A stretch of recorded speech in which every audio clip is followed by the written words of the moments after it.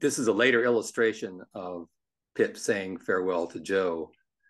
Actually, uh, it's, it's, an illustration of a later scene. but I was interested if anybody else had been shocked to discover their own snobbery. And because snobbery is such a theme in this uh, part of the book, becoming a snob. And I discovered it's kind of a rhetorical question, but I've been shocked to discover my own snobbery. It happened when, for some reason, at my school, the custodial staff started using the teacher's lounge restroom. And I was really displeased to see the custodial staff in our room. so I had to work with myself to decide that this was okay after all. And, but here, Pip is becoming a snob. But I, I don't suppose anyone else has been shocked by snobbery. Okay.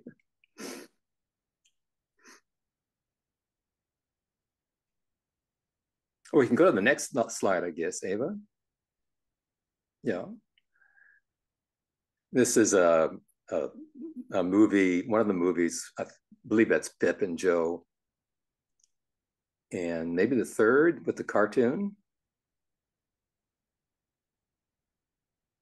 There it is, yeah.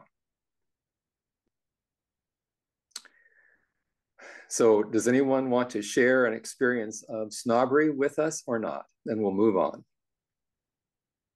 Uh, I believe three people have their hand wait. Sorry. Sorry, I can't see their names with my screen share. Apologies. Okay, I've got it. I think I can get it to open up. Okay, uh, yeah, let's see, Martha, and then Dorothy, and then Barbara. Martha.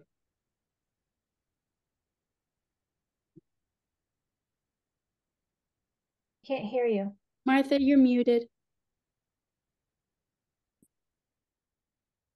Is, is it okay now? Mm -hmm. Um, I appreciate you bringing up this topic, but I never thought of uh, thought of it as snobbery. I thought of it as Pip being this young boy who's been exposed to this new situation, mm -hmm. and he is so enamored by Estella that he just wants these things. He wants he wants a better mm. life. He and I don't I don't know if you call that snobbery or just um these wild childhood or young person right. um um desires and uh kind of gets him in trouble quite a bit, you know. I think that's very accurate. I think maybe later on when he's a bit older, we might call him a snob. But it's uh yeah, you're right. In this in this portion, he's just enchanted by what he thinks is, I guess, the elegant life. And and I really felt for him because I um you know, I was thinking back to my own childhood and and what what I wanted and what I didn't want and I'm thinking, you know, I think every young person goes through this. They see some things mm-hmm. that they like that they want, maybe they can't have it for whatever reason.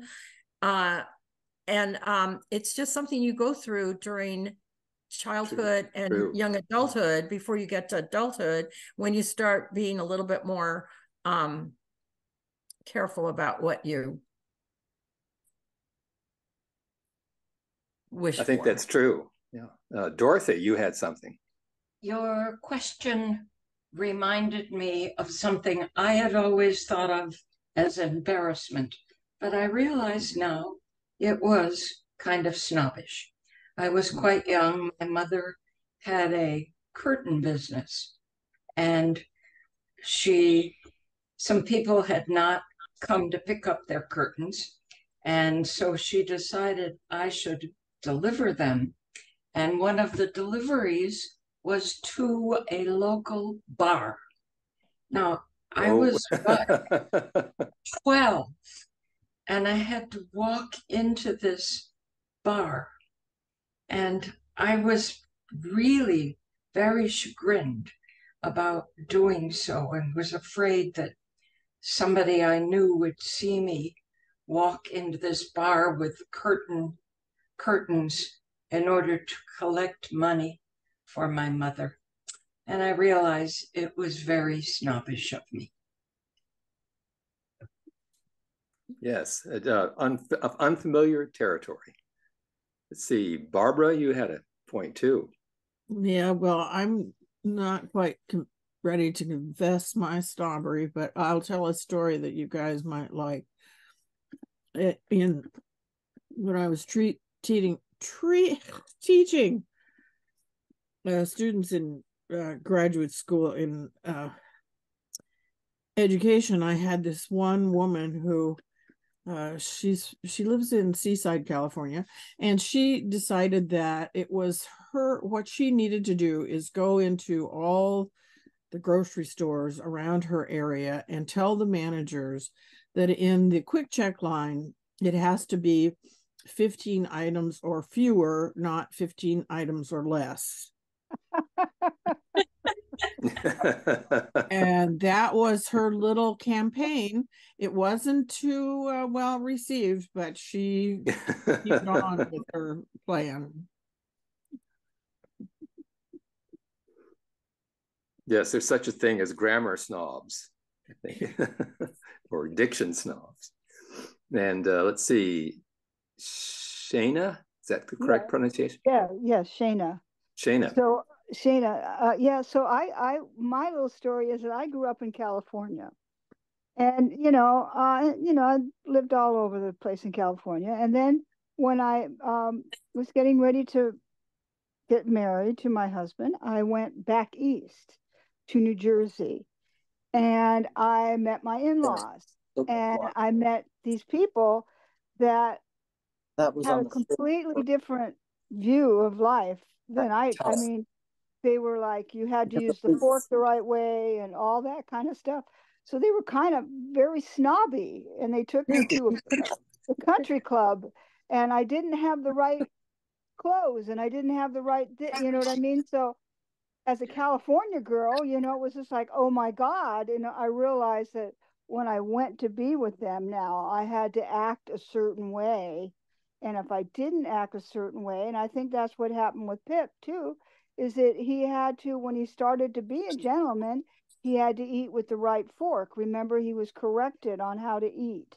So I kind of felt that way. You know, they have so many forks, you know, I couldn't believe this one's for this, this one's for that. So I learned that yes, people could be snobby. This is learning. Not all East Coast people are snobby, but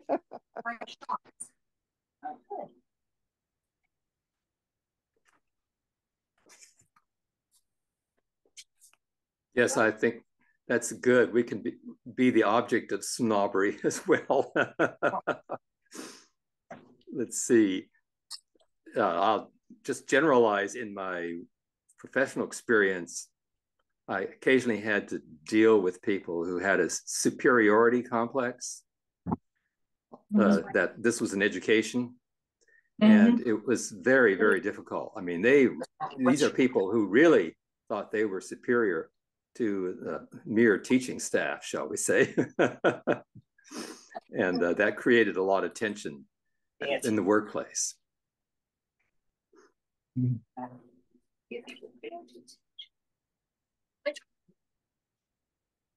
Let's see, uh, Karen had a hand up.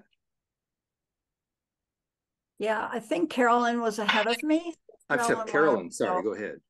Oh, well, this is just a per- little personal recollection. I remember when I'd meet people, say my daughter's friends or just general people, because, you know, I lived a lot of different places, you know, in the conversation, I'd say, So, like, where'd you go to school? Not in a harsh way. And so, um, you know, to me, it was very interesting. And um, my daughter said to me, she said, You are such an educational snob. And she was just so, just so horrified. And I was about to argue with her. And then I said, You know what? I am. I think, you know, it's to me, it's, it's a, it's, it's about their intelligence and the circumstances they were able to go there. And I've always um, been rather prejudiced educationally about where my doctors went to medical school.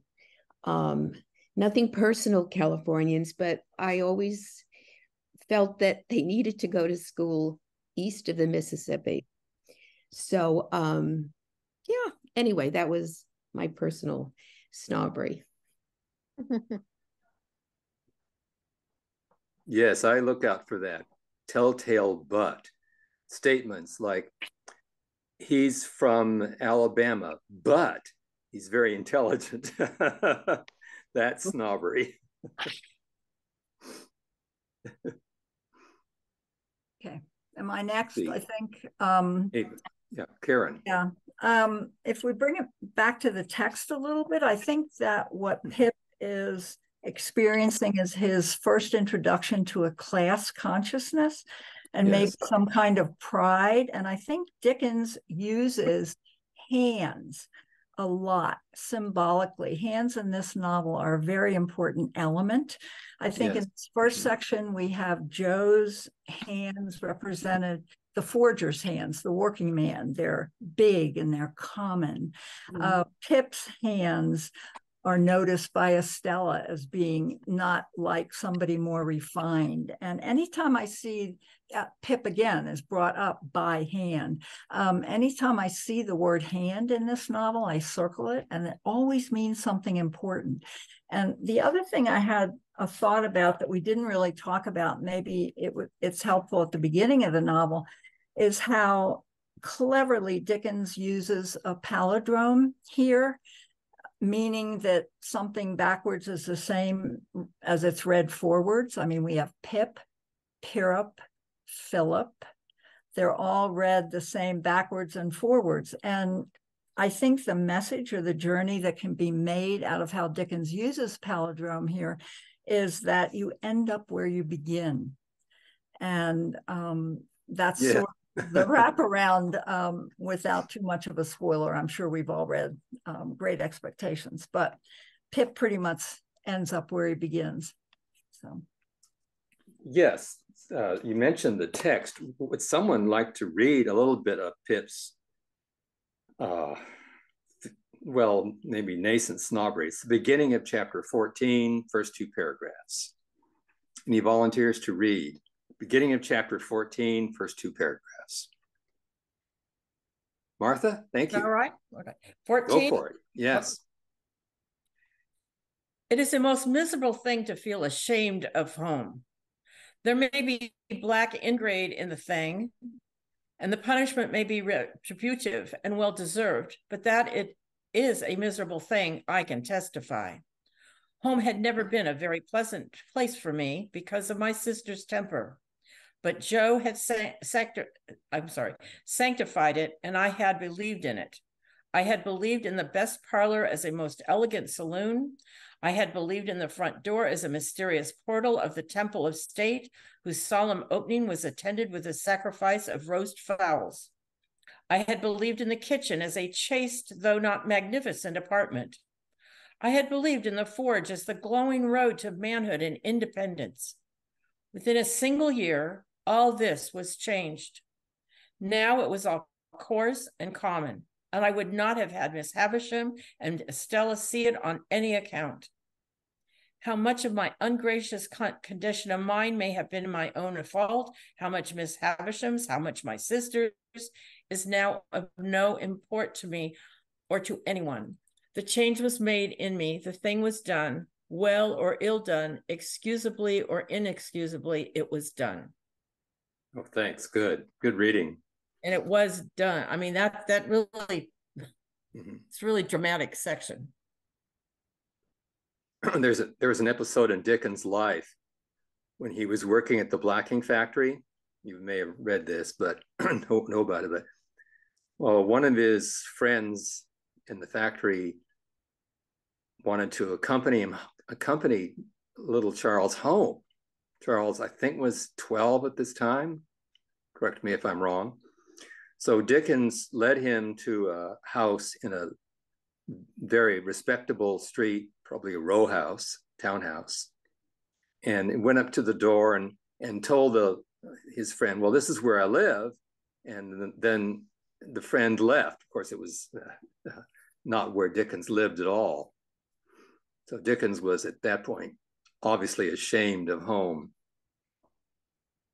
Now, someone had brought this up, and I wanted to be. I got three hands here. Barbara. So, oh, sorry, Barbara. Oh, oh, Barbara Frankel? Yes. Yes, I, hell, I just wanted to say hello. I missed the first installment.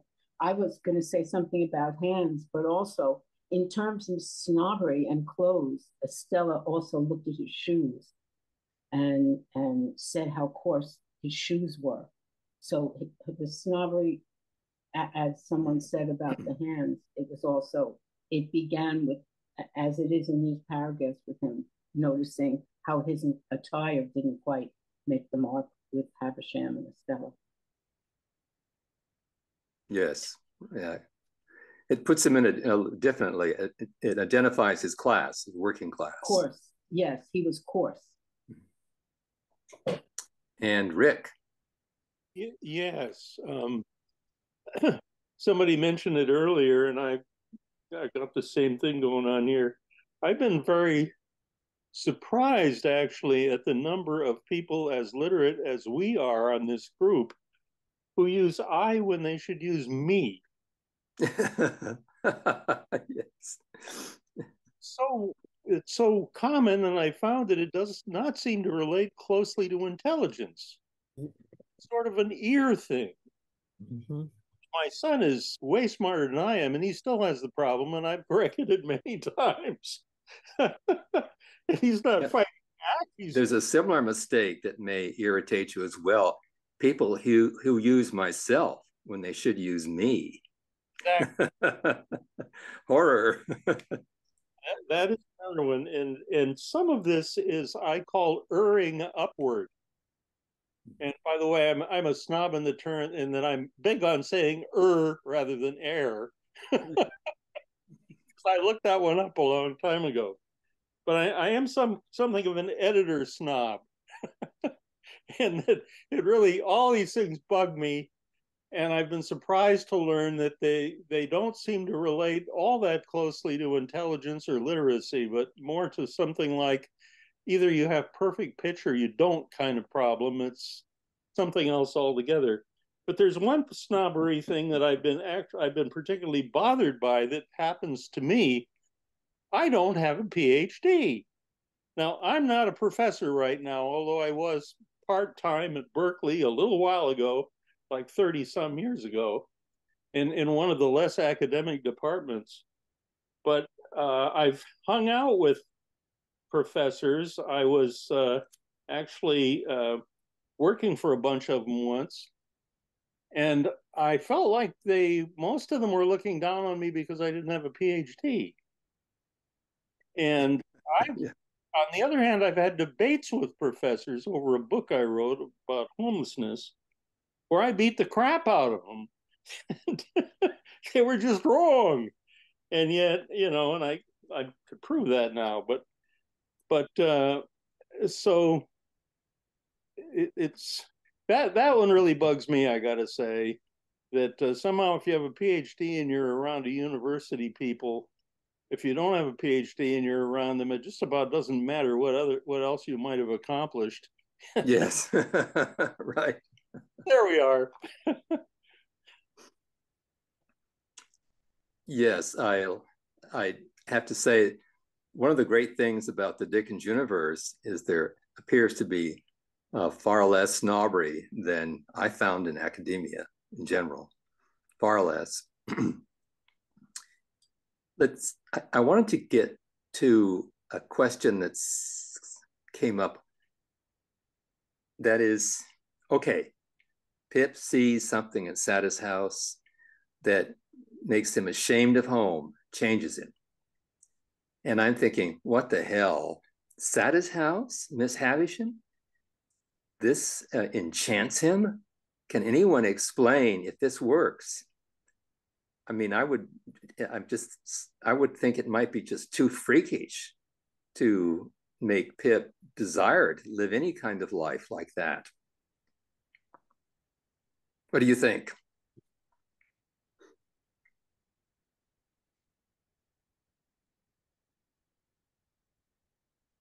Can you can you repeat the question? Oh, that is, Pip seems to be enchanted with what he experiences at Satis house and makes him consequently ashamed of home and his life in the forge. But it's hard for me sometimes to believe that what he sees at Satis house would be enchanting to a young boy. They insult him, but it's not really an elegant place. He's more enchanted by Estella. Right, exactly. I don't think it's the place that he finds so enchanting at all. Great. Yeah, Yeah, exactly. I think Yeah. it has nothing to do with the place as much as Estella, who points out to him um, how inadequate he is. And that's his first experience of shame, I think. And Dickens' own need in himself to better himself with his first loves, with wanting to, you know, Beadnell, how he had felt like he had to make himself better and be a better husband. I, I agree. I think it's all about his fascination and fixation on Estella and Yes. everything she represents to him. Very true. If I'm not mistaken, uh, Maria Beadnell's father thought that Dickens was too low class for his daughter. Yes, yes. And that was his impetus to want to do better, to make himself better, to impress Mhm. the family. I mean, You he was sending her notes, you know, in a clandestine way, which we weren't sure uh, about whether that's because Maria wanted it or her family just didn't feel he was, you know, professional enough. well, Uh, Wayne, yes, please. I'm lost my hand count here. Glenna, Barbara, and David had their hands up.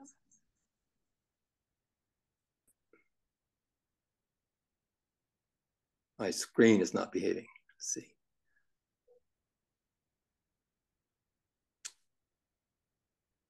I'm sorry. Who was first, Ava?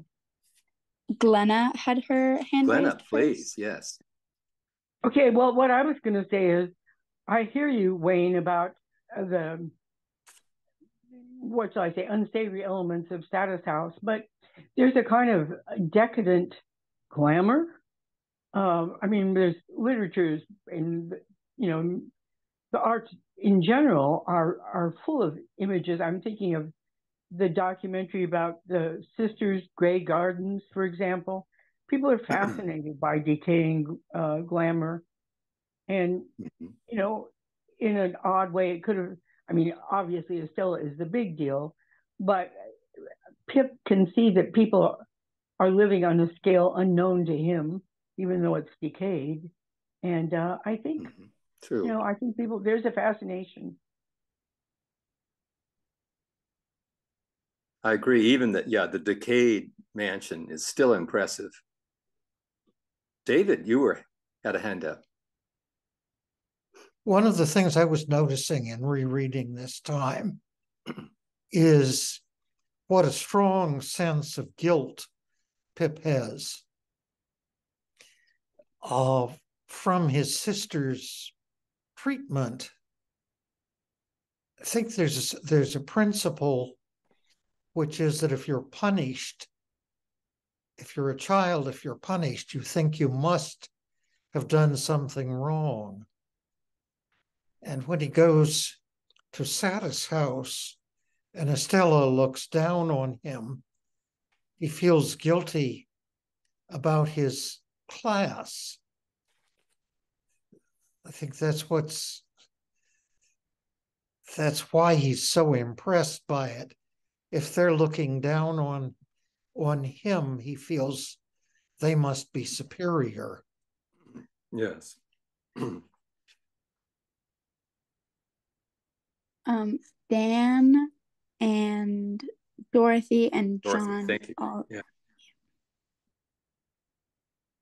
Yeah, I guess uh, going back to the the observations on Satis house, however dilapidated it might be, or however kind of uh, run down things might look, and it still Pip kind of still associates uh, Miss Havisham and Estella with Miss Havisham uptown. She's still uptown. She's still kind of middle class, and this is kind of a uh, like someone said before, fixation that he develops that he attaches his identity to um, that really you know he's never going to resolve. And I think really no matter how you know run down things are, how frankly you know um, problematic you know the the association might be there um, it's still a it's still an aspiration for that middle class, and it's an aspiration for this kind of aesthetic, this kind of ethos uh, that he's not born with, and and furthermore that that is something that is is becomes a conviction that he doesn't have when he, he he's it's kind of reinforced by Estella. So I wonder, I mean, however uh, problematic you know the the middle class itself is, I mean, it's still something Pip is is going to to really um, see as superior to what he has. And it's going to be this thing that replaces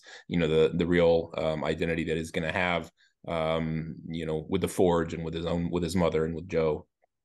Yes i i've always long felt that um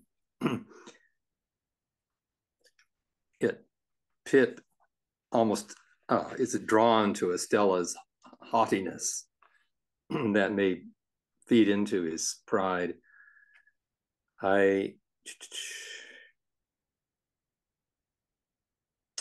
am trying to, I always lose the place where Estella slaps him. It's on page 82 in chapter 11. This is just before he meets uh, Miss Havisham's family. And let's see, it's one, two, well, three pages into chapter 11. uh, this is the this is the slap. And then the subsequent kiss occurs after she has watched the fight with the pale young gentleman. Yeah that's on page 93 chapter the end of chapter 11 or the end of chapter 11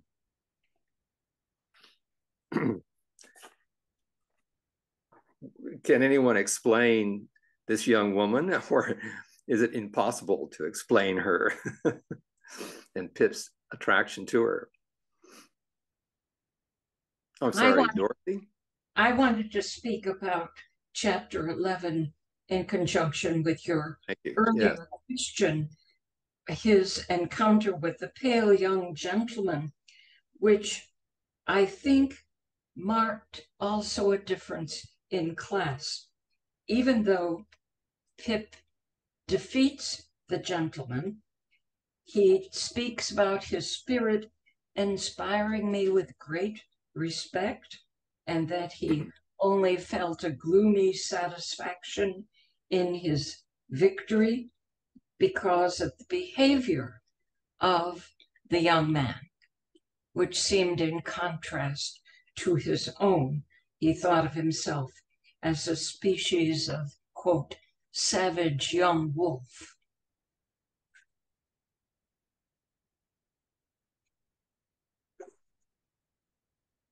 And let's see, John, you're next. John Jordan. Yes, I, I was going to go back to something that David uh, uh, Brownell brought up, which is the, the question of Pip's guilt. Um, but in the passage at the beginning of, of chapter 14, the first thing that Pip says is it's the most miserable thing to feel ashamed of home. So I'm interested in the question of shame and guilt and what the difference is between shame and guilt. What does Pip feel guilty about? And what does he feel shamed ashamed about? And what's the difference in a broader sense between guilt and shame? I think so, yes. Uh, uh, it's like Satis house. Ad puts shame on top of his guilt. Let's see, Barbara, you were waiting. Barbara Frankel. Yes, I see. I don't quite understand Pip's feeling of guilt. I see Estella as Miss Havisham's animal. She was honed and and sculpted to, to be that way. And I can see her slapping him and then kissing him to torment him. She was made to torment. And it says that um, I felt that kiss was given to the coarse common boy as a piece of money might have been, and that it was worth nothing. You know, it, she's so transactional as Havisham, you know, trained her to be transactional. And he is lost. He's lost in those feelings, I think, because of his inexperience and because of his his own, you know, confusion of his self-worth. I I also see, like I said, so much of Dickens there with his own first loves, how lost he was in them as as as that young boy, uh, you know, as when he was just starting out in the world. But I, I, I just see Estella trained, like almost trained, like there almost is no Estella. This is what she was trained to do. So. Yes, I like the your implication that Estella certainly throws Pip off balance. yeah, he's lost. Yeah. He's gone in his yeah. fascination, and it, she, she's like you know the gyroscope of, of of his confusion. Very good. Oh, Karen, you had a hand up. Yeah. Um, if we can go back to John's distinction or wanting to draw a distinction between shame and guilt, I think of shame more related to self esteem issues and pride or status. And I see guilt more related to a sense of moral consciousness or moral discomfort and conscience. And it just, I was going through some papers and I came across, remember when we did Dickens to Go at the beginning of COVID in 2021?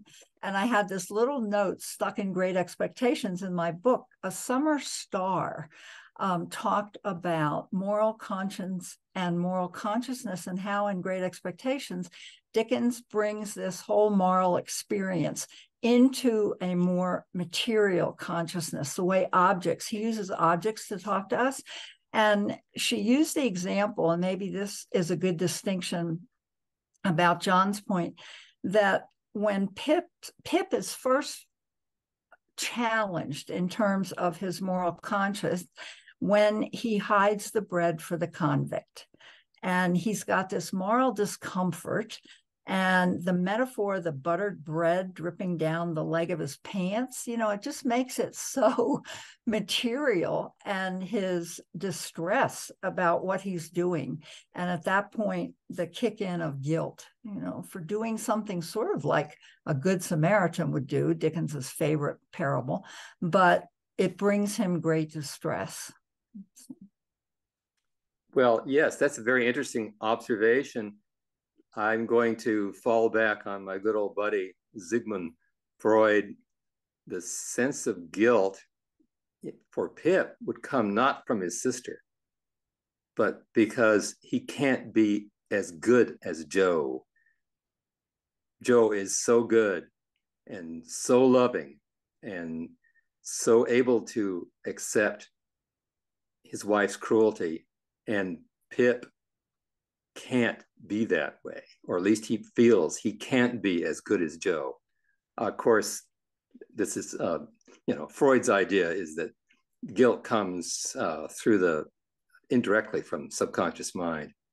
So I just want to throw that out there that uh, as that that he feels guilty not because his sister is mean or even his his theft is not something that Joe would do. Let me put it that way.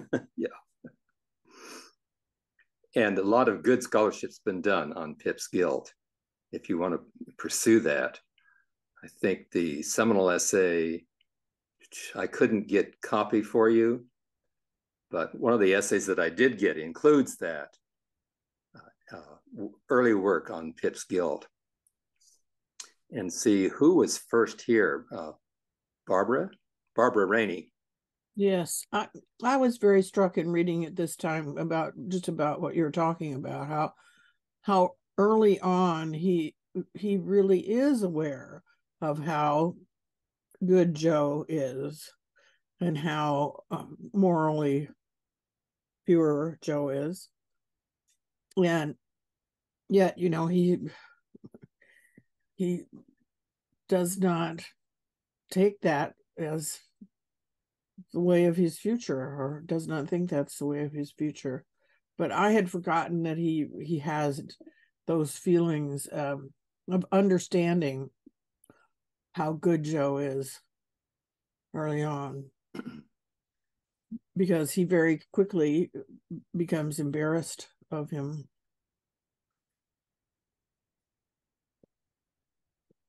And Virginia, thank you very much, Barbara. Virginia? Um, yeah, uh, two things. One, I think guilt always usually comes from a specific action, like stealing something and you feel guilty for it, where shame is sort of more of an internal thing that you feel bad about and you can't necessarily put a cause on it, like why you're ashamed of where you live or what you do. There's not necessarily a cause to that. It's more of an internal feeling. But I also want to mention with Estella, you know, kissing him after the fight. I mean, that's so typical. Like the two boys were fighting over her and so you know suddenly she thinks that's great that they were fighting over her it fed her ego. And so it fed her ego like these two guys were battling it out and the other kid was willing to get socked silly uh you know over estella. And so she kissed him just because oh good you know you fought for me. Um and of course it's confusing to pip because he didn't even know what he did. I mean he was unaware of what her thoughts were on the matter.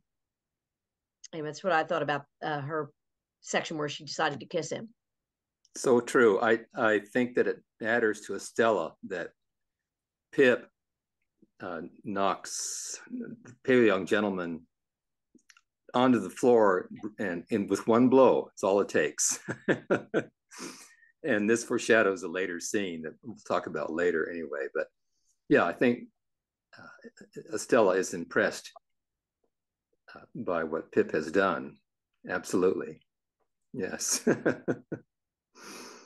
And uh, let's see, Kath, Tiger? Tiger. Yeah, uh, two quick yeah. points. One is that um, Pip goes to church. Pip is a churchgoer with his people, and um, the church would have um, had given him the concepts of shame and guilt, sure, certainly of guilt. Um,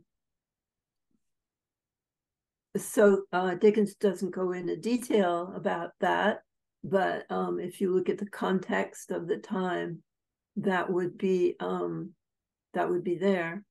And another idea I had is that to me, Estella is a classical, a classic um, narcissist who does these tactics. Like one day they'll ask you to marry them, and the next day they'll they'll I don't know what shame you to death. So um hmm. that that reminded me of people I've known. And uh yeah, um okay, that's what I have. I've been seeing a lot of narcissism in Estella. She's not well. She's not a healthy human being, as we know. Thank you. Yes, if I'm not wrong, the true narcissist wants love and attention, but doesn't want to give either one. it's a one way street. yeah. On the question of, um, and maybe some other experts could help me on this, but the question of uh, way children are treated. Uh, this is early 19th century when the idea of the child was still probably based on the, the idea that they had to learn to be virtuous. And, but in the course of the 19th century, the, the, the general vision of childhood modified, and we get sometimes the angelic child. This, for example, originated in Wordsworth and imitation, in, intimations of immortality. So I just want to throw out the possibility that those scenes when the adults are uh, trying to shame Pip are comical, but they're comical only because by 1860, I think a reader would be less inclined to believe that the child uh, ch- children were naturally evil and naturally vicious. and so this is a, I guess, a vestige of an earlier view of childhood that perhaps was meant to be funny. If anyone wants a little pop uh, introduction to this double view of children, uh, watch The Bad Seed, which is about a 1955 movie with Kathy McCormick. It is a wonderful movie because it it sort of turns on head head the idea of the angelic child. yes.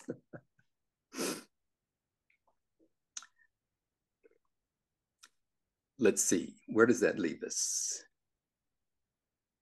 Yeah, we're talking about Pip and his attraction to Estella, I guess. I wanted to do a little work with Dickens. Wayne? Oh, please, please go ahead. Yeah. So, oh, sorry. Someone had their hand up, but they've put it down. Never mind. Oh, I'm sorry. Continue. Sorry, Wayne. Uh, uh, that that was just me. I was uh, okay because of the comment that you made earlier about the difference in the time frame. I wasn't aware that there was that this was not set in the time that it was written. Um, right. What is the the time gap between the time that this was written and when it was set? I critics generally say that the graveyard scene probably took place in 1812 when Pip is seven years old. But the book was published in 1860. Okay. Yes, if I'm not mistaken. So it's quite a difference in time. Yeah, so it, it is, is time it is in that he wrote this at the end of his life and was talking about uh, his youth, which you know gives you enough time for everything to have fallen out of fashion. Yes, right. Yeah. At least enough people would think that the old idea of the wicked child was out of date. mm-hmm. yeah. yeah. Have to beat the devil out of the child or shame the devil out of the child. Uh, John, would you agree that we have a new vision of children in the in the 19th century? I, I, was I was going to comment on the time frame of the oh, novel. Thank you. Uh, there, there, there's one uh, piece of information that dates this earlier than 1839 because the Bow Street Runners are the police who come to investigate the attack on Mrs. Joe. And the Bow Street Runners were the early version of the Metropolitan Police in London. Um, so they have come out to the village where Joe and, and Pumblechook uh, live uh, to investigate. And they're sort of the comic version of the police. They're before the modern bobbies and uh, th- that are named after Sir Robert Peel, and that's the establishment of the Metropolitan Police in London uh, in 1839. I think that's the correct date. So um, these are, and their investigation is is comic because they uh, they're unable to find the uh, the assailant. Um, but another thing, more generally, is that this is set in a in a pre-industrial uh, England. This is this is not the uh, the England of hard times and factories. It's uh, uh, the the the center of this is a small rural village or a small village in a larger rural setting with farmers and uh, um, and, and Joe is a skilled artisan but he's not someone who works in a in a factory. So the class system here has not, uh, although the industrial revolution is underway in other parts of the country, it's uh, it, it hasn't reached this this particular village. So it's early 19th century. Thanks very much, John. And uh, Ava, you had a no, no, Glenna. I'm sorry, Glenna. I wanted to say about the issue of the of the child. Uh, as a historian, I always thought that it, really beginning in the 18th century, you see various ways of patriarchy being eroded. Uh, the at one point, the father is really the the source of authority in the family, and then you get um, changing norms where the marriage becomes more companionate, less um, less uh, the father being the the one that has the say, and as a marriage becomes more companionate and a family becomes more democratic, these these transitions start in the 18th century and begin to flower in the 19th century, and then children also begin to see, you know, have have a different role in the family.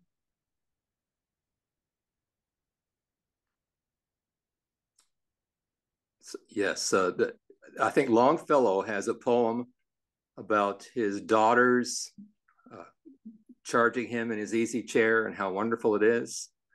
Forgotten what it's called, but and that is 1840s, maybe 30s or 40s. Uh, David? No. The Children's Hour. Children's Hour. Thank you. That's it. Yeah. The Angelic Daughters. Uh, and Martha. I made the comment about um, that this this was a period of time when um,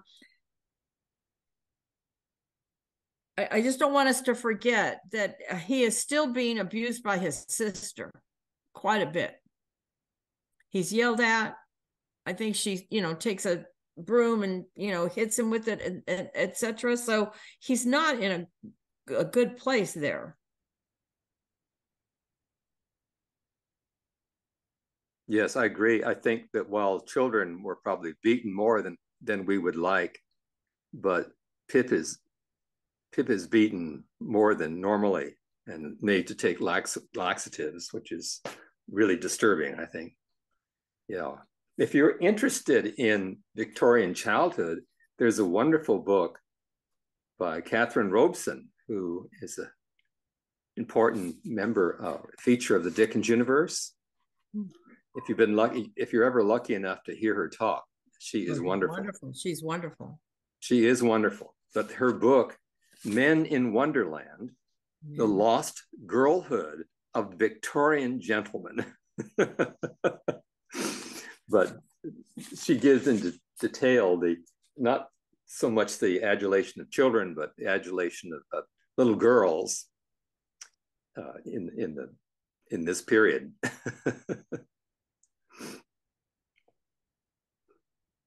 that takes me, I wanted to look a little more at the humor. And I wanted to look at, to begin with, at the meeting with uh, the first time we see Jaggers. And that's on page 83 in the Penguin.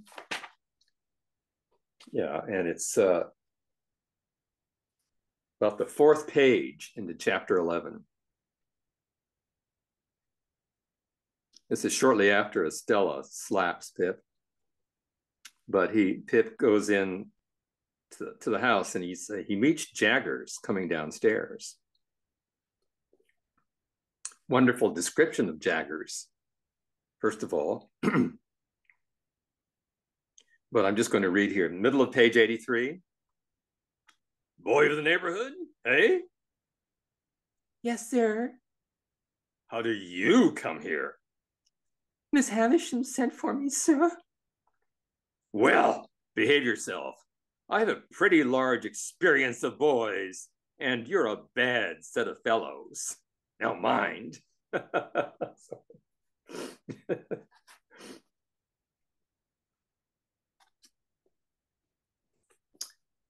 Let's see um, Jaggers is uh, turns out to be crucial to the plot. He, of course, he's the attorney whom I guess Miss Havisham contacted when she wanted to adopt a child. Well, no, that's I'm sorry, that's going too far. But he's an attorney. Yeah. So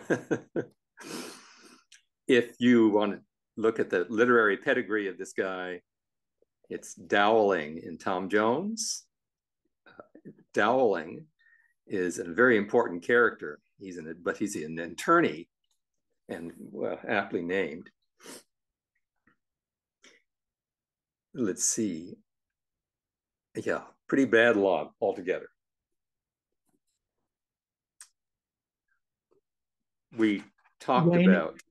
go ahead, please. John's raised his hand. Yeah, John, please. Uh, could, yes. I just wanted to comment on on a uh, something very small in the passage that you just read about this this uh, encounter on the stairs. Yes. and, uh, the the mysterious person whose whose name we do not know. We are not given the name of this this person yet, though he will turn out to be that lawyer Jaggers whom you True. Uh, referred to. But he said he says I have a pretty large experience of boys, and you're a bad set of fellows. And I wanted the word I wanted to focus on is fellows. And the word fellow has an interesting use and set of connotations in the 19th century that we may not be sensitive to. And f- the word fellow, uh, which I think we use in a kind of neutral way, has class implications in the 19th century.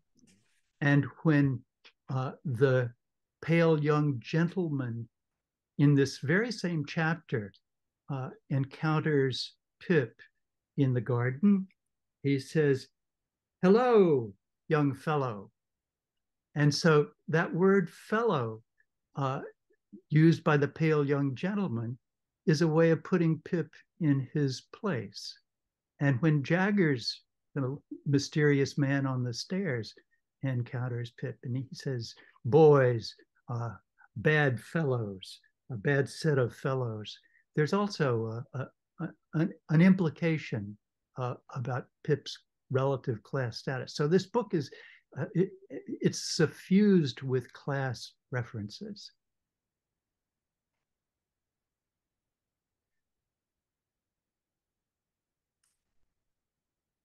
Well, I wanted to look at uh, this will be a way of looking further at Mrs. Joe and at comedy and the fight. I want to spend some time on the or the very brief uh, contretemps between uh, Orlick and Joe.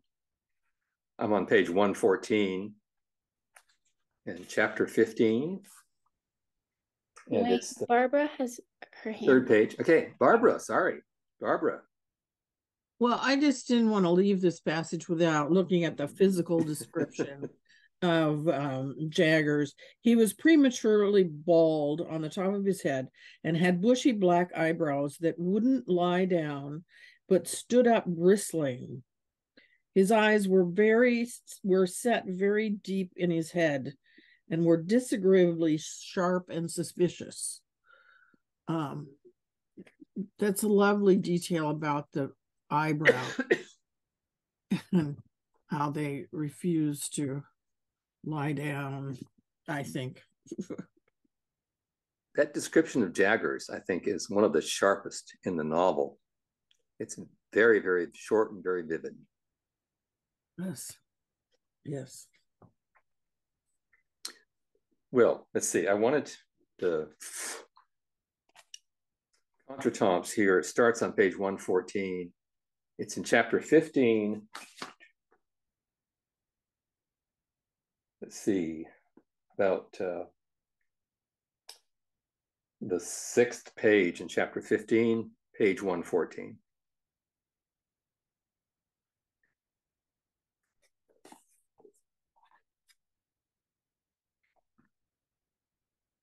Dickens has a way of making sure that what goes around comes around. Evil people are typically punished eventually. Am I wrong about that? we may have to wait, but uh, Fagin is hanged and uh, Bill Sikes falls to his death, etc. But this passage begins, You're a foul shrew, Mother Gargery growled the journeyman. If that makes a judge of rogues, you ought to be a good one. Uh, Orlick has, uh, of course, just now appeared in the novel, though we're told that he's been employed by Joe for some time. Pip remembers him. Pip as a child uh, uh remembers being a child when Orlick was employed. And a lot has been written about Orlick as a kind of embodiment of uh, aggression and uncontrolled impulses and evil. Anyone want to comment on why Orlick appears only now when he's supposedly been in, been there for some time? A mention is Pip mentions him only now.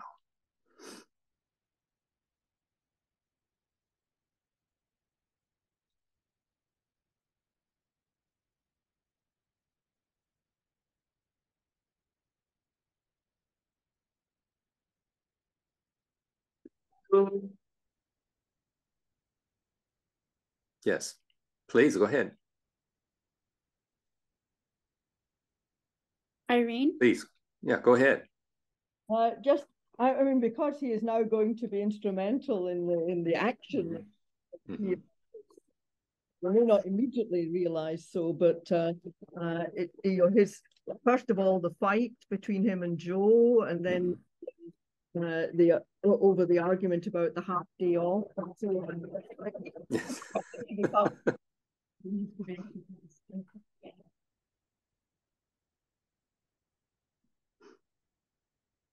so it, basically, we need him now. He enters the story now because he plays an important part, starting here. Yeah. I have to comment that I have, I've observed bullies and uh, of course, among adolescent boys. And the bully exerts a fascination because he acts out and he does things that the bo- nice boys would not do, but they love seeing the bully do them. and I'm suspicious that Orlick acts out and he does things that Pip and Joe, or says things wouldn't do, but we at least as readers uh, enjoy seeing some of the Orlick getting away with what he does get away with. You're a foul shrew. Would now I want to look at the wonderful depiction of Mrs. Joe here. Would anyone continue reading for us? What did you say? cried my sister. Any volunteers to read? Uh, I think prior to that, we had a couple hand raised. Sure. Yeah. Barbara was. Barbara, Shayna, and then Luis. Yeah. Well, following this same line that you had there, uh, we don't we don't get Biddy introduced to Biddy until rather after the fact. Mm-hmm. She's talked about early on, but then all of a sudden, uh, you know, she's very important, mm-hmm. and um, and we have that whole uh, section where talking about how he talks to her about things that he doesn't talk to anybody else and all that kind of stuff. And it, it seems to me like she's kind of uh, that's another plot end that's going to have to be dealt with right? If you and so we, we're we're introducing things that have to be resolved somewhere Yes, uh, uh, I've, I've always wondered why she's called Biddy, such an unappealing name. Yeah, Biddy. Uh, and Shana. Um, isn't Pip suspicious of Orlick? Uh, yeah, when oh, she yeah. gets when when she gets hurt, I mean, isn't he feels that he did it, or am I wrong on that?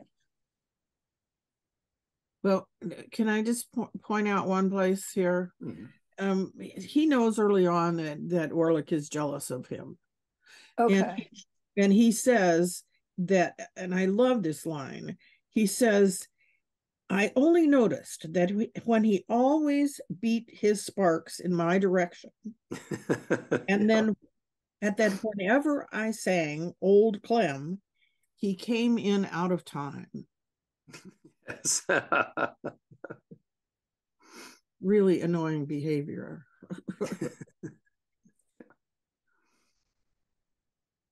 so he knows about him. Yes. Orlick is always slouching. Yes. Yeah. Yeah. Very nonchalant. Shana, did you finish? Shana? Yeah, yeah, I, I was done. That's what I just wondered if he was suspicious of him. I mean, from the get go, I just feel like Pip is just doesn't like him and is very suspicious of him. From uh, uh, you know, and as the story goes on, he gets he you know more and more. so. Yeah, True, true. it's very obvious that you know, Please. sort of, uh, uh, Mrs. Mrs. Joe is, is no longer able to speak.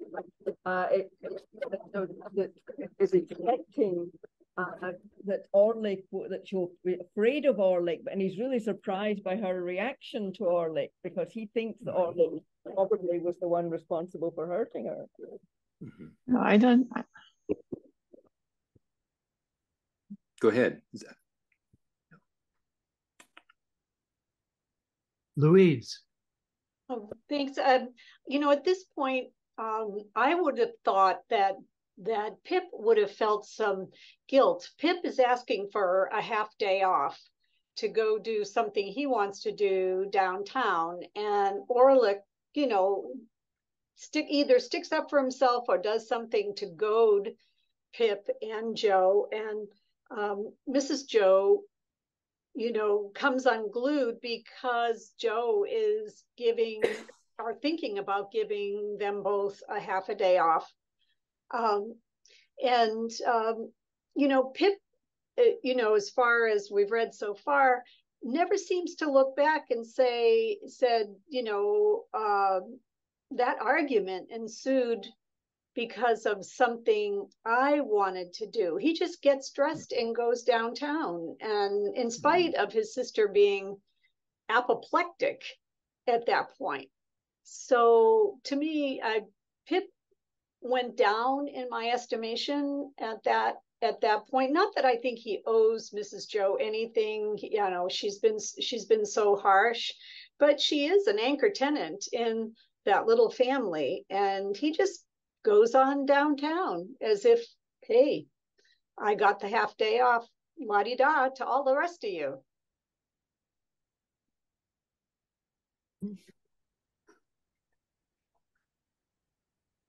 Yeah. See. And uh, see, Louise. She then just- Sarah. Sarah. Yeah. Uh, I, I I I didn't think that Pix, Pip suspected Oleg. I mean, he thinks a lot about uh, the sequence of events and uh, through the people that may be suspected. And he kind of decides that it couldn't have been Oleg. He traces how they walk together uh, for the half day off and how they met and walked back together. So he, he doesn't suspect him as far as I could tell. And, and there is a, another interesting thing because he's always, when we talked about guilt, he's always feels guilty that he didn't tell the truth about the events with the two uh, criminals. And now he makes a decision uh, uh, because now now this this file is involved, the thing is involved, and he makes a decision. He thinks about again about him not telling anything about it, and he makes a decision that if the information can help solve the problem, he's going to tell. But he has not. He hasn't concluded who did it. He definitely didn't conclude that Orlick did it. He never tells Joe that uh, he stole the file. But he says here, yeah, and he thinks about it a lot from the beginning. He, he tries to meditate on why he doesn't tell Joe. And this is hmm. part of, of the guilt. But here he says, if this information will help the investigation, he makes a decision. If, hmm. if telling the truth will help the investigation, he'll tell the truth. Hmm. Okay. Okay, Sarah, and then John. No, I was Sarah. Okay, then John is next. If if if you would indulge me, Wayne, I'd like to read the entire passage of the fight between Joe and. Oh, that would be perfect. Because I think I think it's just wonderful. It's it's an instance of comedy, but I think it has other valuable things that we can learn from. So I'm gonna uh, it's in uh, it's in chapter 15, right? It's the um, yes, yes. So I'm I'm going to start a little bit earlier, and it's after uh, Joe agrees to give Orlick the half day off. And Mrs. Joe speaks first, and she says, Like you, you fool, said she to Joe, giving holidays to great idle hulkers like that. You're a rich man upon my life to waste wages in that way. I wish I was his master. You'd be everybody's master if you durst, retarded, retorted Orlick with an ill-favored grin. Let her alone, said Joe. And notice the parentheses around what Joe says there. That's that's something that can't you can only appreciate that when you read it typographically. Um, so uh, we'll come back to that. I'd be a match for all noodles and all rogues, returned my sister, beginning to work herself into a mighty rage. And I couldn't be a match for the noodles without being a match for your master, who's the dunder-headed king of the noodles. And I couldn't be a match for the rogues without being a match for you, who are the blackest looking and the worst rogue between this and France now. You're a foul shrew, Mother Gargery, growled the journeyman. If that makes a judge of rogues, you ought to be a good un. Let her alone, will you? said Joe. What did you say? cried my sister, beginning to scream. What did you say? What did that fellow Orlick say to me, Pip? What did he call me with my husband standing by? Oh, oh, oh. Each of these exclamations was a shriek, and I must remark of my sister what is equally true of all the violent women I have ever seen that the passion was no excuse for her, because it is undeniable that instead of lapsing into passion, she, uncon- she consciously and deliberately took extraordinary pains to force herself into it and became blindly furious by regular stages. What was the name that he gave me before the base man who swore to defend me? Oh, hold me. Oh, ah, the growled journeyman between his teeth. I'd hold you if you was my wife. I'd hold you under the pump and I'd choke it out of you. I tell you, let her alone, said Joe. Oh, to hear him, cried my sister with a clap of her hands and a scream together, which was her next stage. To hear the names he's giving me, that or that Orlick in my own house, me, a married woman, with my husband standing. oh, oh, here my sister, after a fit of clappings and screamings, beat her hands upon her bosom and upon her knees, and threw her cap off and pulled her hair down, which were the last stages on her road to frenzy. Being by this time a perfect fury and a complete success, she made a dash at the door, which I had fortunately locked. what could the wretched Joe do now, after his disregarded parenthetical interruptions but stand up to his journeyman and ask him what he meant by interfering betwixt himself and Mrs. Joe, and further whether he was man enough to come on. Old Orlick felt that the situation admitted of nothing less than coming on, and was on his defense straightway. So, without so much as pulling off their singed and burnt aprons, they went at one another like two giants. But if any man in that neighborhood could stand up being long against Joe, I never saw the man.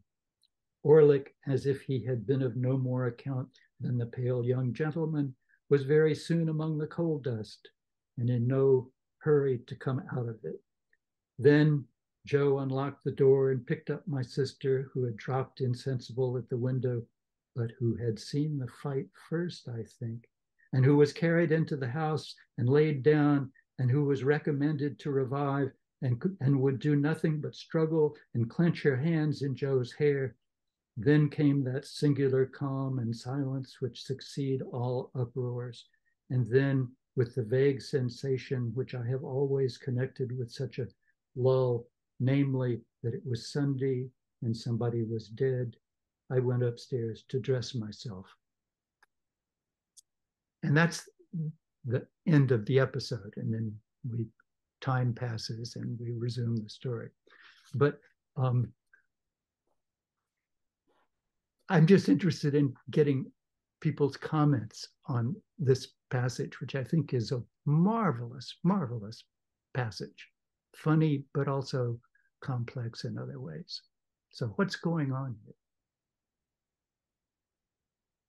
Barbara, you're first. Well, once again, we've got um, Pip realizing the uh, stages of her uh, hysteria or whatever we're going to call it. That's probably too Freudian a word. But anyway, the stages that she goes through when she goes through these um, argumentative things and the you know the oh oh oh is kind of building herself up so that she can get all riled up and uh and and putting her hands clenching her hands in joe's hair at the end of all this you know because joe's role is just the muscle you know and he, and that you know he hits him and that's it. But she's still in her frenzy and has to wind that down somehow. oh, Margaret.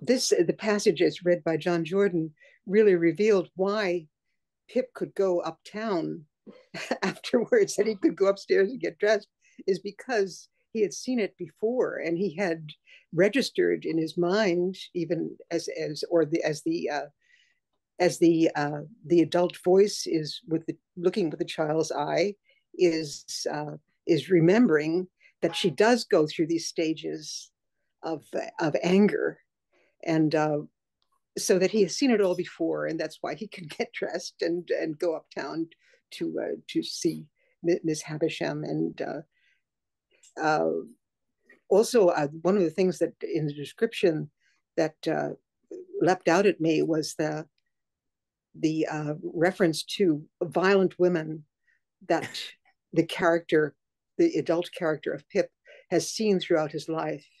So she, uh, his sister, defined the violence in women or that characteristic that can be a part of a woman's character. And that's all I have to say. But I, I think that um, the narration of this this novel goes beyond any kind of um, of uh, of categories of people, you know, defining them as good or evil. That that Dickens' eye was so uh, so clear in looking at characters that uh, you can't really say that they're one dimensional at all, or the major characters are not one dimensional. And Mrs. Joe is is one of them, who is uh, is can, in my opinion, can't be categorized as as evil. That's all I have to say. And we know that that Mrs. Joe is a violent woman because of the way that she treats Pip. Um, right. right. Sarah? Sarah. Yeah. And so I, I, I thought in, in the paragraph that was read, we can see a huge contrast with the, between the way that Joe reacts and the way that Mrs. Joe, with her passion and hysteria. And Joe makes comments that are very uh, uh, logical and kind of said in parentheses and without anger. Uh, so he keeps telling Oric, you know, what are you doing? Why are you doing? But everything is very like calm. And at the end, when they actually get into a fight, um, the behavior of, of Joe really affects Oric, and Oric realizes he cannot fight. He cannot really fight this man. But, but there is a small scene of fight, and Mrs. Joe sees this scene and assumes that her husband had a real fight on her behalf. So yeah, everything is very beautiful. Okay. True. Very true. Yes. Barbara Franklin. like a stage setting and Dickens' love of theatrics. I see setting the stage here for a lot of conflicts coming up. I mean, his writing about hysterical women is always so funny because we know that, you know, uh, uh, Pip's sister is, you know, she's no shrinking violet. And here she is screaming for her comeuppance. And look at the position she puts Joe into all the time. Here she's making him, she's so angry, she's going to make him fight with Orlick. And, you know, here he, he is, you know, he's crafting this place for Orlick that's is almost a foreshadowing of the conflicts that are going to come later on and seating the bed for um, you know his violence toward the sister. But to me it's you know it's it's so brilliant in how he's kind of setting this up and it's so theatrical and funny and provocative and um, you know really uh once again she's just so manipulative and and and brutal. Very good. Yes. Yes. Barbara? Yeah. Thank you so much. You got it. Um we haven't mentioned tickler. We're talking about all these things but tickler you know that's something to be afraid of right and Joe calls it old tickler, you know, but and it seems to be equally applied to Pip and Joe uh, by Mrs. Joe. And, uh, you know, that's another, it's kind of funny, right? That she has this whip that she's going to whip them with. But uh, it's not totally funny. It's that blackish humor. It's on the edge. Carolyn, you have your hand up. Carolyn did. Yeah, go ahead.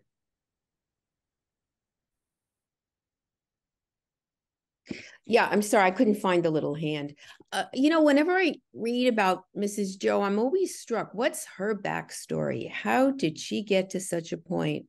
You know, that that's the only way she can navigate her life. You know, what happened to her to create this seemingly monstrous person?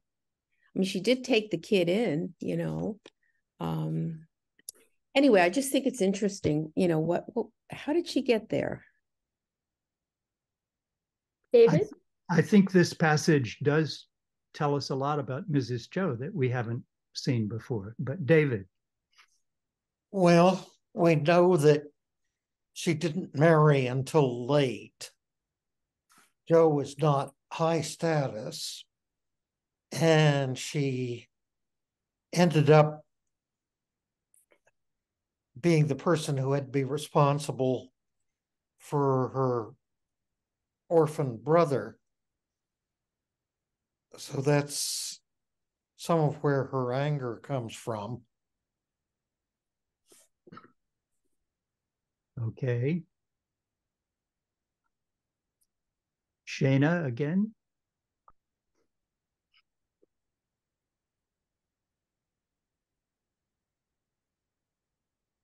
Do you think that um she's angry because she never had children of her own? That I don't know why, you know, she doesn't have children. And um, you know, maybe she was barren, uh, I, I you know, and that she couldn't have children. So taking Pip in was kind of like, oh well, I'm gonna have a child now, but then she realized it wasn't her own, so she mistreated him. Do Joe and Mrs. Joe ever have sex? Oh, doesn't sound like it. okay, Dorothy. I mean, that could be one explanation for why they have no children, couldn't it be? Yeah, and why she's so angry. and why she's so angry. Okay. Dorothy. Isn't it strange that she doesn't have a name, a first name? Yes. That's all. I just wonder. Patriarchy at work again. Um, let me, if I may indulge myself in this, I, I think this is a wonderful passage uh, because it's it's a scene about sex. Um, I think what's happening here is that Mrs. Joe and Orlick are flirting I think that Mrs. Joe is responding to Orlick's aggressive uh, comments about her and admiring or responding emotionally and sexually to his hyper masculine uh, comments about her.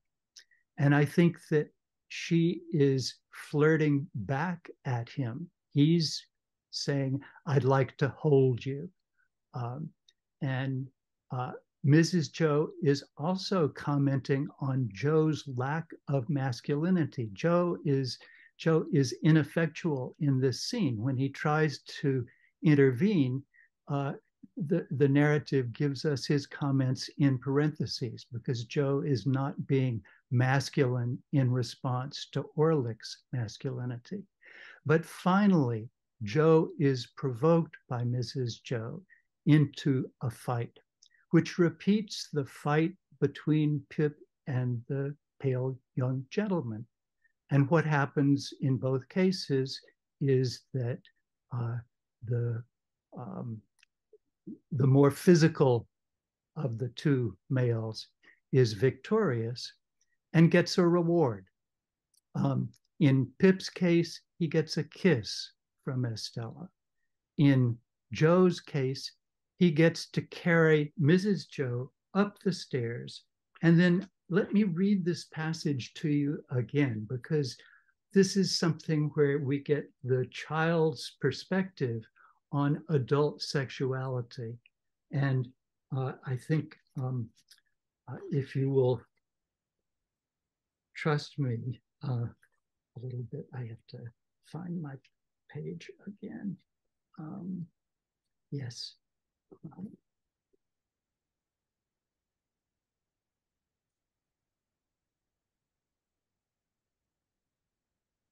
Then Joe unlocked the door, picked up my sister, who had dropped insensibly at the insensible at the window, but who had seen the fight first, I think, just as Estella had seen the fight between the uh, the two boys, and who was carried into the house and laid down, and who was recommended to revive, and would do nothing but struggle and clench her hands in Joe's hair. So this is the beginning of a different kind of passion from the hysterics. Um, then came that singular calm and silence which succeeds all uproars, and then with the vague sensation which I have always connected with such a lull, namely that it was Sunday and somebody was dead, I went upstairs to dress myself. Now, I think this is a subtle joke about the child's perspective of parents who have sex once a week on Sunday. And that silence, as if somebody was dead, is the silence that follows sexual relations between the parents, which the child doesn't understand because the child has no adult knowledge of sexuality. But I think Mrs. Joe has worked herself into a sexual passion by flirting back at Orlick, who's aggressively and sexually flirting with her. And finally, Joe gets aroused to the point where he fights, and then he gets the reward, which is the equivalent of uh, Estella's kiss to Pip. So this is this is a scene of 19th century sex as understood from the perspective of the child. That's, that's the interpretation that I put on this passage. And Mrs. Joe is one of those women whose sexuality responds to male violence. I think that's so true. I, I can't help but thinking of a controversy that we had in Nashville over the invasion of bachelorettes. Uh, uh, lots of people were offended, and I, I'm thrilled. You know what the bachelorettes are? They they come to Nashville before the wedding, and the all girls celebrate, and they'll get up on a back of a specially built truck with a bar and drink and uh, tour the city. So, and uh, I, I found it very refreshing that young women can let loose in this way, in a way that would not have been considered proper even maybe 20 years ago. What does anyone make of that pot of beer that shows up later? Joe and Orlick are sharing a pot of beer from the Jolly Bargeman.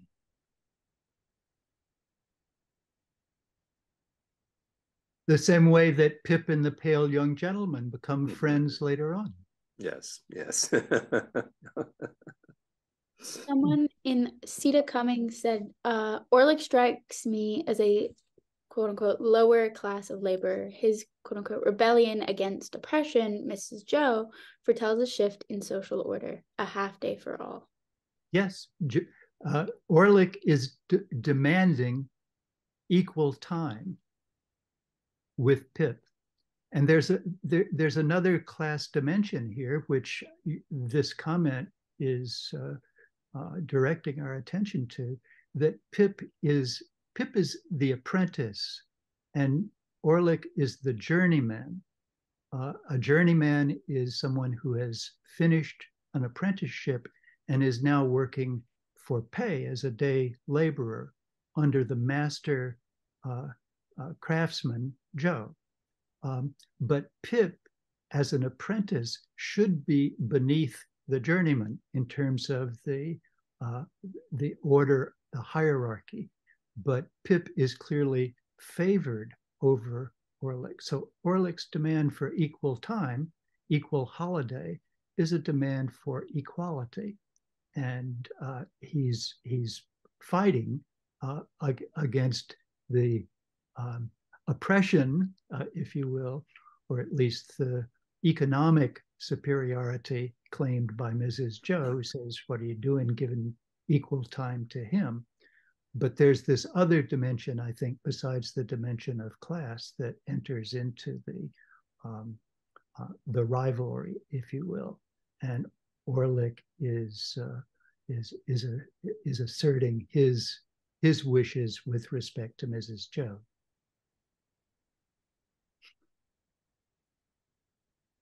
Do do do people go along with? I, I mean, I've given you a, an interpretation of of this scene that says it's about sex.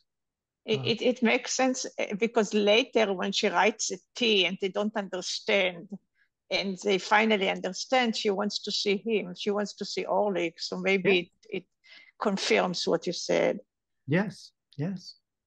Um, she she likes.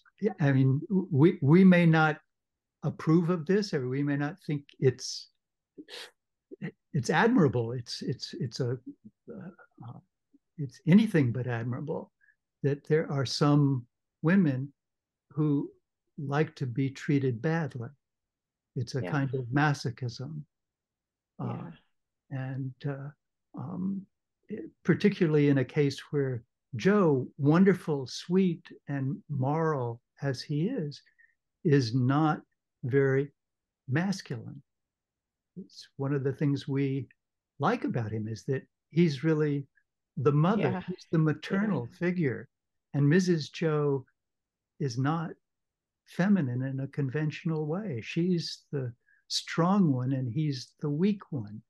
And she uses this occasion with Orlick to provoke him to be more masculine and Yeah. to meet her sexual needs.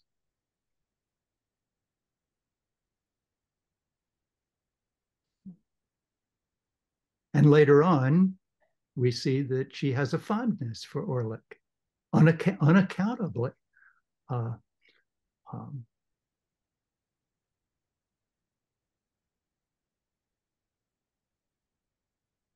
she undergoes a transformation in her personality. She becomes sweet and mild, Yeah, yeah. she gets what she deserves, right? Uh, you make me wonder, John, if if we had a uh, a doctor here, he might explain what part of her brain was damaged. Dickens Yeah. was so knowledgeable maybe maybe a, a expert would know what part of her brain would have been damaged to uh, remove that aggression. And I know in some cases with brain damage, uh, there is a personality change, usually toward a expression of emotion. So uh, I, I, I just wonder if Dickens hadn't observed something like this with a personality change after some sort of attack to the head. Just a random thought, anyway. But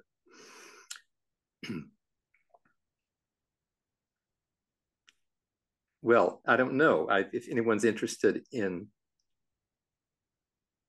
uh, a little more in comedy. I did want to look at the group around Miss Havisham, all of whom hope to inherit her money. And this, of course, replicates other sort of vulture groups, such as uh, in, uh, Martin Chuzzlewit. The family gathers around an ill or dying person of wealth, all hoping to impress and, make money. And in Martin Chuzzlewit, it's funny because the old man doesn't die. So dis disappoints everyone.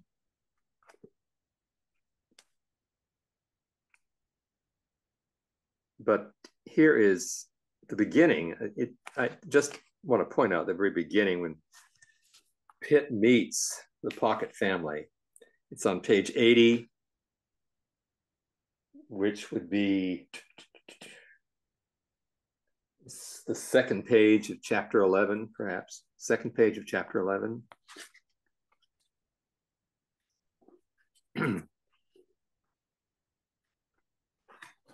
I'll just read this introduction to the Pocket family. there were three ladies in the room and one gentleman. Before I had been standing at the window five minutes, they somehow conveyed to me that they were all toadies and humbugs but that each of them pretended not to know that the others were toadies and humbugs, because the admission that he or she did know it would have made him or her out to be a toady and a humbug.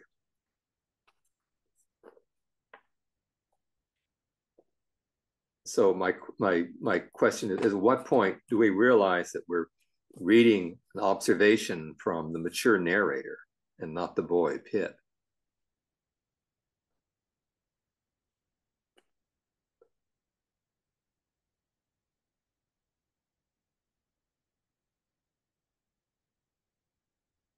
or does it intrude? Are we or are we thrown at all when we have an observation that the boy probably could not have made? Blair? Yeah, I hate to sound like a uh, college freshman, uh, but I have a simple question. What is a humbug? In the, the way they were defining it in in in their uh, uh, you know, in in in his Dickens time, because I know, of course, it's used a lot in uh, Christmas Carol, and uh, I've looked it up and come up with different definitions. I'd love to hear what some of you really knowledgeable people think it it, it, it meant. okay, I'll put my hand down. But John can help me. I I think it meant fake affected affectation phony? John, what would you say? Etymology unknown. Unknown, yes. yes. Um, various speculations, but the meaning is generally something which is false and pretentious, um, untrue, nonsensical, um, removed, far removed from the truth. so what then he says they pretended not to know that the others are like that because if they admitted to knowing it will make them like that.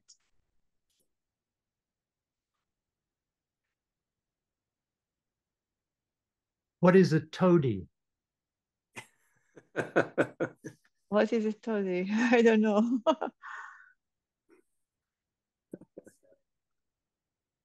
Go. Barbara knows. Irene or somebody Margaret. who Irene, Margaret. Yeah. both of these words I think are common enough in the English usage, maybe not in the American usage, but uh, a toady is somebody who bends over backwards to make themselves popular. I would say a toady. Uh, I just the totally insincere. So the two words go very well together. Yes. Margaret. So, yeah. Margaret, you're muted. I thank you. I like that definition of toady that the lady just uh, gave to us. But uh, the the phrase that comes to mind about that uh, that last paragraph that was read about uh, Pip's take on the relatives. It it and it, it, it is just the expression. It takes one to know one. so, I mean, that's all that I have to say about that. Thank you. Oh, yeah. And David. Oh, I think of humbug as having replaced an 18th century word that we really need to reclaim. Dr. Johnson was fond of calling something cant, C A N T. You could cant as a verb, cant was a noun. Uh, cant was saying something that you didn't really believe, but that was sounded good. It was what you were supposed to say. We're sending our thoughts and prayers, is cant. Yeah. And humbug is a lot of has a lot of that, it seems to me. Bill. But back to Wayne's original question: At what point do we determine that uh, Pip, that, that the comments aren't child Pips, that they're adult Pips? Because indeed, I found it a little offsetting that we got into that little thing about they were hypocrites, and if they admitted that they were hypocrites, then, or if they admitted the others were hypocrites, that would prove that they were. I had to think about that for a couple of seconds. Then I went into the next paragraph, and it's like that doesn't really fit you know, the description of the scene as told by a te- uh, as told by you know, a young teenager, or I'm not certain exactly what the age is at this point, um, didn't really seem to match someone who had the understanding that all of these people are just waiting for the lady to die so they could have her money. Um, it, so yeah, it does seem like that's something he realized at some point later, and perhaps as we go along the novel, we'll figure out at what point he realizes that the the relatives are you know odious. But that was you know it influ- it did influence my later reading in that well i don't know that the kid understands that but certainly i now understand what they are.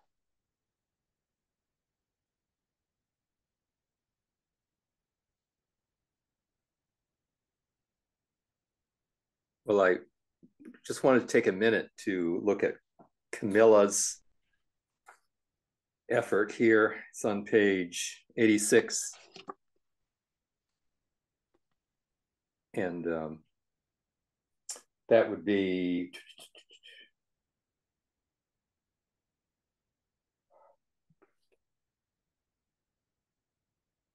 about the um, seventh page of chapter 11, page 86.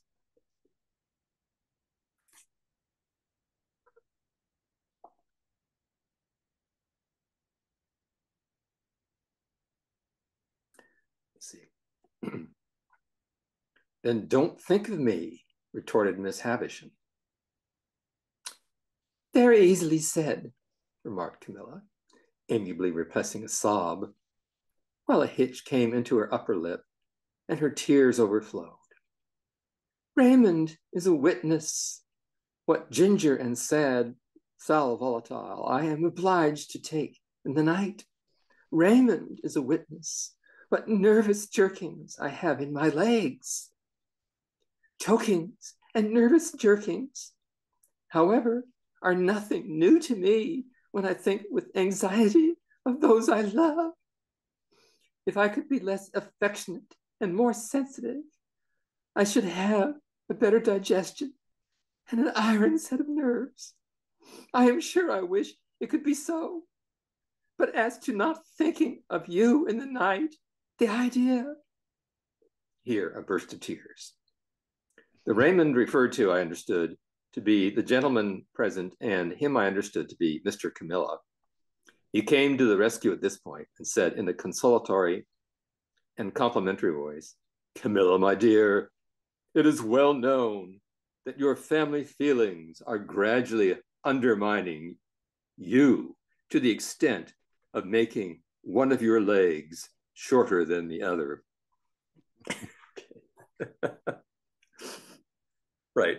Although her, her family feelings would have been much better off if she didn't have an aunt with a dining room filled with roaches and mice. Right. I just gotta say. Yeah.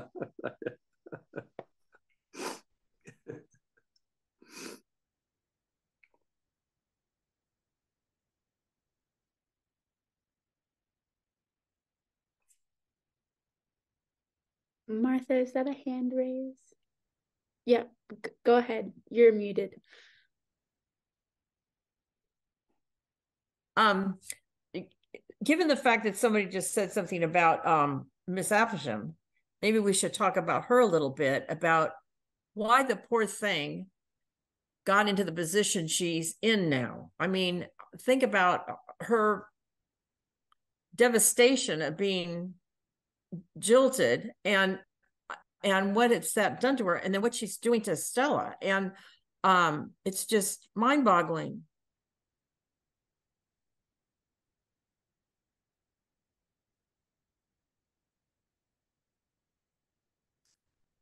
well again like oh uh the uh injury to mrs joe i wonder dickens hadn't seen someone like this or heard of someone like this. I mean, you can't make this stuff up. I don't, I don't, I, I, there must have been, uh, this is an age when, of course, families hid the mentally ill members in the attic mm-hmm. and pretended they weren't there and didn't exist. And so, in a way, she's hid herself right. in her bedroom this way. Mm-hmm. One explanation, anyway, but why she's mentally ill is another story. Well, it's very yeah. sad. But also, I'd have I I think I'd have more uh, sympathy for her. But what she's taken taken those feelings and transferred it to mm-hmm. Stella is really, really awful.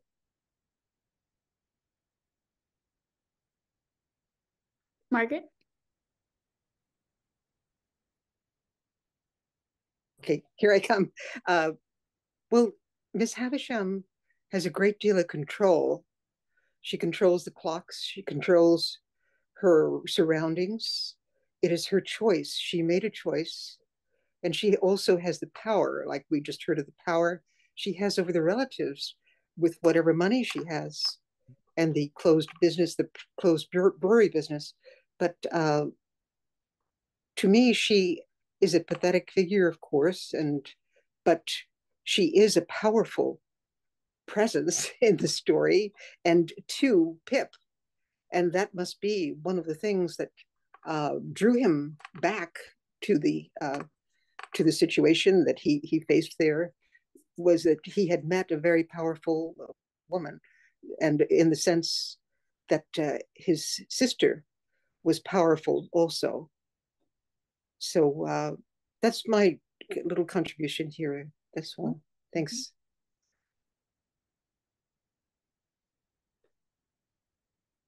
So thus far, the women in this novel are the strong ones.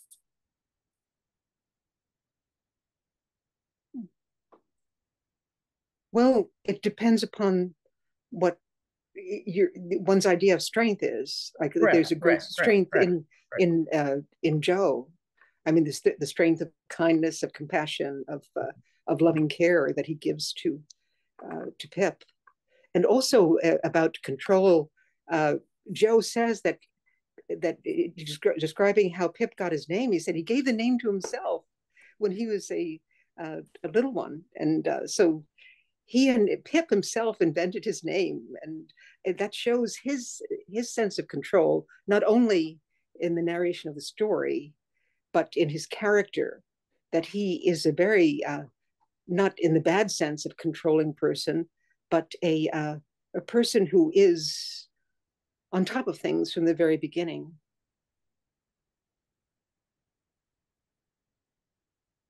Barbara?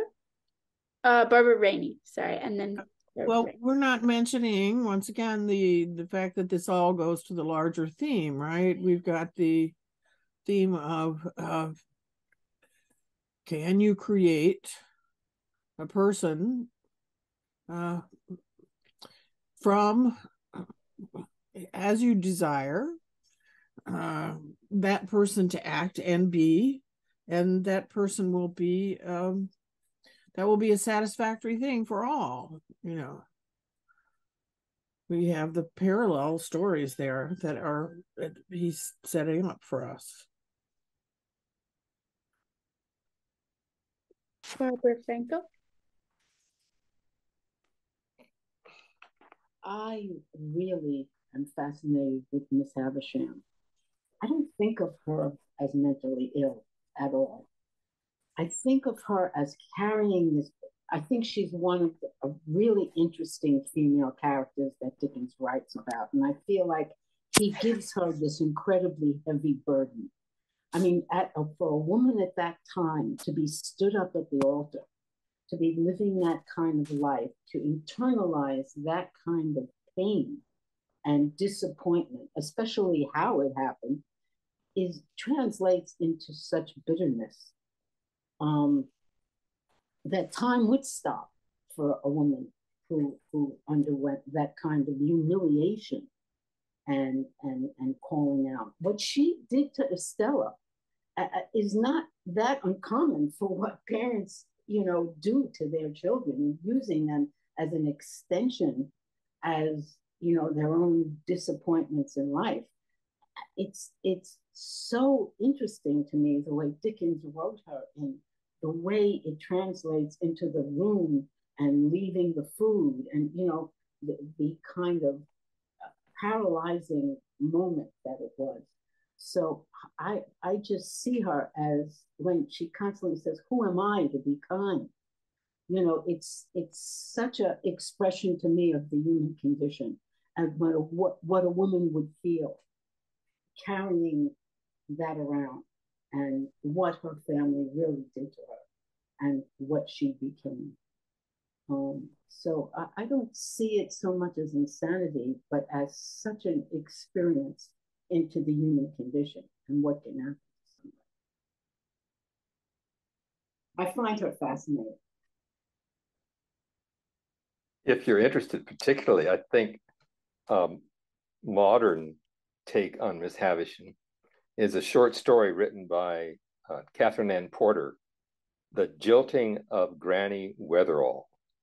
The Jilting of Granny Weatherall, which is a stunning story, but I think it was inspired by Miss Havisham, the character of Miss Havisham. Yeah. Lena, and then David and Janet. Okay, well, I want to talk about Miss Havisham in terms of her fairy tale resonance. Um, it occurs to me that she's kind of like Sleeping Beauty, only instead of the prince waking her up with a kiss, it's the prince who, you know, deserts her. Uh, it's an inversion almost of Sleeping Beauty. But I really think that at some level, Dickens must have had that that resonance in his mind when he created this character. David? Uh, I'm not sure whether one can call Miss Havisham narcissistic, but her response to the shock of being jilted is to make herself the center of the world and everything about her. Of course, this sort of situation turns up fairly often in 19th century literature of one sort and another, ranging from uh, Gilbert and Sullivan's Trial by Jury to uh, music hall songs. The one I think of is uh, There Was I Waiting at the Church. waiting at the church, waiting at the church, when I found he'd left me in the lurch. Lord, how it did upset me. He sent me round a note.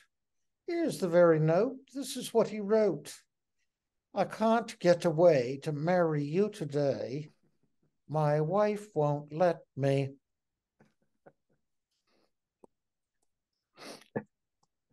Now let somebody else get relevant. Janet? Hello. Can you hear me? Okay. Um, I thought thought that was incredibly relevant, David, and I absolutely agree with Barbara and Glenna's characterization of Miss Haversham. And I think um, Glenna used the word desertion, which was really key because a lot of orphans found themselves in the workhouse because um, because of a, a, broken engagement where um, you know there was a promise of marriage and then there was a, a, pregnancy and then and then they were deserted. So you know dickens uh, with his familiarity with the workhouse had to have known that which makes that incredibly relevant i think. Um, and the other point i wanted to make um, this kind of seems off topic now but i wanted to circle back to the beginning about being ashamed of home and just clarify really quickly that Dickens lived outside of the Marshalsea when he worked at the blacking factory. The rest of the family um, lived in the prison and he would go there and eat, um, but he actually lodged outside of there at, Camden Town and then closer to the prison. And in Forster's life is the story uh, that um, Wayne had relayed, I think, at the beginning. Um, of going to another house. Uh, Dickens is sick and he has to leave the factory. And an older boy insists on walking him home. And uh, he says, uh, I got better and quite easy towards evening, but Bob, who was much bigger and older than I, did not like the idea of my going home alone and took me under his protection. I was too proud to let him know about the prison, and after making several efforts to get rid of him, to all of which Bob Fagin, in his goodness, was deaf, shook hands with him on the steps of a house near Southwark Bridge on the Surrey side, making believe that I lived there. As a finishing piece of reality, in case of his looking back, I knocked at the door, I recollect, and asked, when the woman opened it, if that was Mr. Robert Fagin's house. I just wanted to make a little, a little clarification where that story came from. Thank you.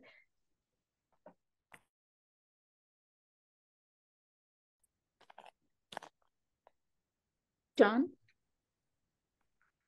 About Miss Havisham, um, just to pick up a couple of threads, she's a complex character, and I think we need to understand both the fairy tale dimensions of her as a sleeping beauty. I think that's a wonderful idea. She's stopped time, uh, she's stopped the clocks, she's preserved that moment, but it's a horrible moment. It's a moment of trauma for her. And I think another way to read her psychologically is as a victim of trauma who has memorialized the trauma in the form of her room, her stopped clocks, her clothing, um, her refusal to know what day it is or what time it is. Um, and Dickens is uh, exploring the many dimensions of this character, both mythic, fairy tale, um, psychological, and and human. So all of these responses, it seems to me, are are, are pertinent. And also the dimension of patriarchy, that she is a victim of a system of male dominance. Um, and she is attempting as best she can, in the only way she can, to get revenge on that system through Estella. And Pip is a kind of training dummy for Estella to practice on.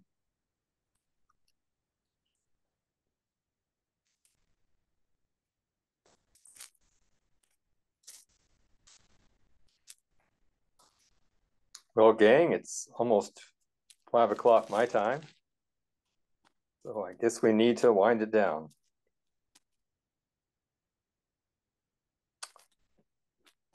Thank you all so much for attending and for your wonderful contributions.